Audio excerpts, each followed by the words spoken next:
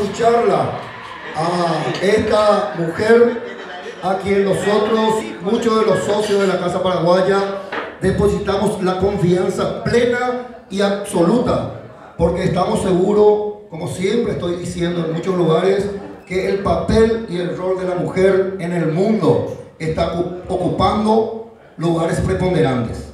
Tenemos mujeres que son presidentes de naciones, mujeres que realmente ocupan ese espacio que realmente tan bien lo llevan. Y por eso nosotros, muchos de los socios de la Casa Paraguaya, pensamos en esta mujer, porque la conocemos, conocemos su historial, su esfuerzo, su honradez y un montón de adjetivos más que puedo mencionar, pero más allá de ello, el sueño nuestro es que la Casa Paraguaya tenga una persona íntegra en todo sentido, capacidad de gestión, honradez, lealtad y compromiso.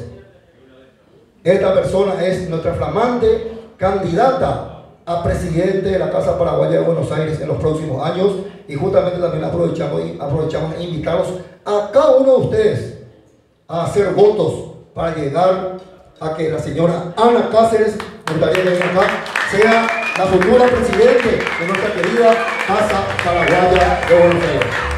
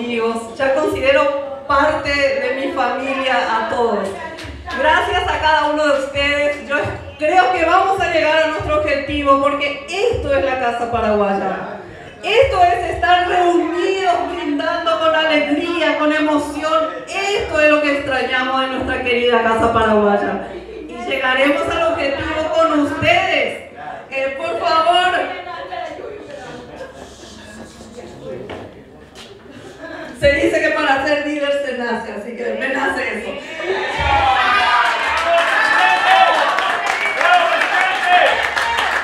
siente! ¡Se siente! ¡Haga, presidente! ¡Se siente! ¡Se siente! Presidente! ¡Se presidente! Es grande la emoción que siento ver a estos socios fundadores que se merecen todo el respeto, todo nuestro cariño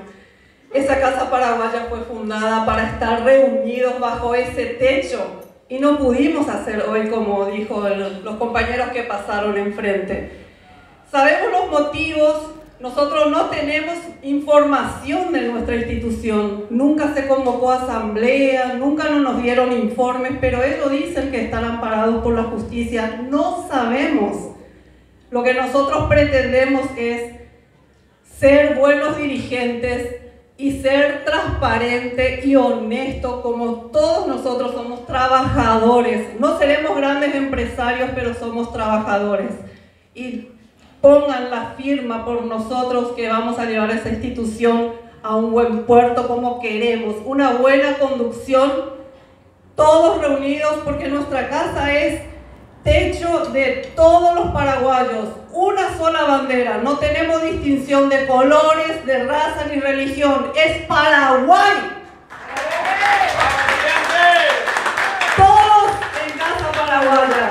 Tenemos una sola bandera, la tricolor, de ahí nuestro nombre, la roja, blanca y azul, la tricolor, una bandera para todos, una casa paraguaya para todos y la lista tricolor para todos. Muchísimas gracias, mi cariño de Y yo sé que muchos de los socios fundadores y presidentes de esa institución nos estarán iluminando desde arriba porque dieron prácticamente la vida por nuestra institución. Por eso nuestra lucha, no vamos a permitir que esta institución tan querida sea tan manoseada. Basta. No nos traguemos más el cuento. Basta. Socios tienen que tener sus derechos, así como tienen obligación, no solamente cuando necesitan, llaman a los socios, vengan a colaborar. Nosotros nos hemos presentado acá con la mayoría de los compañeros socios, queriendo aportar con nuestra cuota. ¿Y qué hicieron? No nos quisieron cobrar. ¿Por qué? Para impedir nuestro derecho de socio, para impedir que podamos participar en nuestra institución que nosotros mismos hemos creado y fundado. Y acá dijo el compañero Leo, esa gente que está, ni sabemos de dónde aparecieron porque nunca estuvieron. Yo estuve durante el mandato de don Isidro Méndez Chávez, que paz descanse, y muchos compañeros. Estuvimos en la administración y hemos la tricolor, nosotros, nuestro grupo, acá con Teresita también está en nuestro grupo hemos marcado una historia en la Casa Paraguaya. ¿Por qué digo eso? Con el perdón de todos los socios fundadores también. Esta segunda parte de la construcción de la obra de Casa Paraguaya, estuvimos nosotros en gran parte de esa construcción. Así que también hemos dejado historia y vamos a seguir dejando historia si es que la Casa Paraguaya llega y llegamos con un presidente mujer, porque las mujeres podemos también.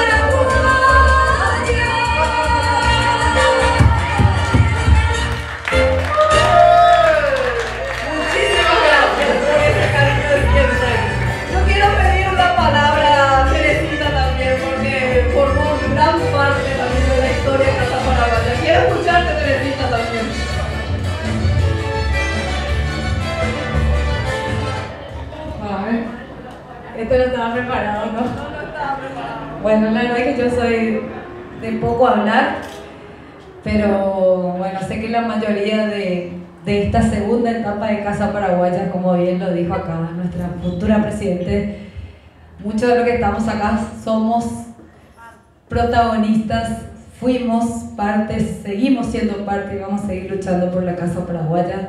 Muchos de los que están acá fueron, ya estaban y otros fueron convocados por Isidro Méndez Chávez, como Ana Cáceres, Pablo Irala, que hoy ya no está físicamente, pero siempre vive en nuestros corazones, fue un gran luchador también. Eh, Roque Salina y Teresa vinieron por insistencia de Isidro Méndez Chávez, también acá nuestro amigo Valmeli que está presente, que él ya no quería participar en ningún tipo de instituciones eh, porque estuvo casi 20 años en el Deportivo Paraguayo y, por insistencia de Isidro, volvió a ser parte de vicepresidente de la Casa Paraguaya durante muchos años. Walter Blanca, que siempre fueron parte ya de muchísimos años, Celso Fernández y mucha gente que, que, que hoy por ahí no, no, me acuerdo de nombrar, pero fuimos luchadores. Tito Palma, que está presente acá también, que fue uno de los que fue miembro de la comisión directiva en época de Isidro. Hemos luchado muchísimo. Ah, Rojitas, él era siempre un colaborador, le vendíamos entrada, las más caras le vendíamos a él en la fiesta de aniversario, siempre primero un guaireño de ley. Gregorio López, siempre, siempre.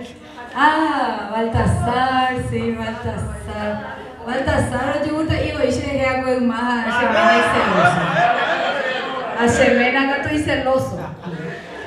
Bueno, así que no, nada, es contar anécdotas y bueno, y muchas, muchas anécdotas de la Casa Paraguaya, como por ejemplo pelearme al 2x3 con Isidro por la Casa Paraguaya, porque él prácticamente vivía en la casa y yo ya quería irme a mi casa porque teníamos tres hijas chiquititas de 3, 4 y 5 años. Y nos íbamos a las 10, 11 de la noche, salíamos a las 7 de la mañana de casa, a las 11 sin volver todavía y salíamos de casa cuando las nenas dormían y volvíamos cuando ya estaban dormidas de vuelta. Y toda esa lucha que, que hicimos, yo creo que yo dejé mi juventud en la casa paraguaya. Y, y quiero...